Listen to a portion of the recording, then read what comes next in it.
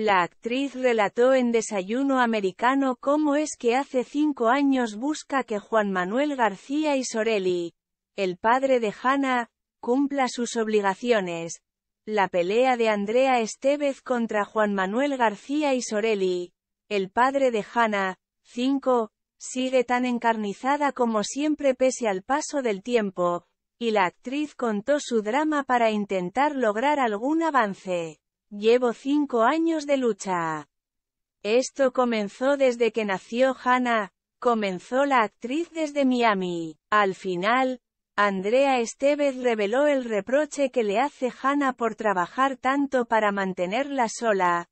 A veces a las 10 de la noche me pide que le hable, me levanta la cabeza del celular y me pide que la mire a los ojos para hablar pero a esa hora estoy trabajando a través del teléfono. A veces a las 10 de la noche me pide que le hable. Me levanta la cabeza del celular y me pide que la mire a los ojos para hablar. Le dije que si no se quería hacer cargo directamente le decía a Hannah que su papá estaba muerto.